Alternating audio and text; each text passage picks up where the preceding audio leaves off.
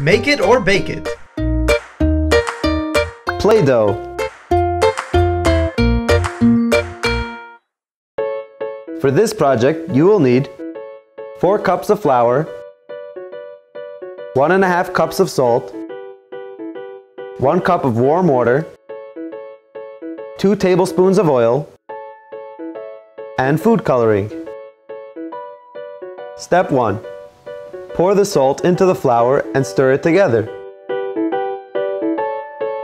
Step 2. Divide the water into 4 bowls. Step 3. Add a different color of food coloring into each bowl. Step 4. Add half a tablespoon of oil into each bowl. Step 5. Divide the flour and salt mixture into the 4 bowls.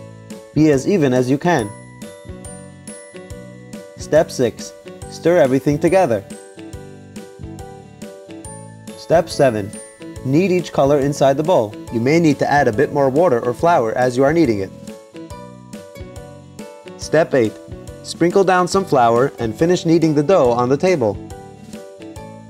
This Play-Doh is not made to be eaten.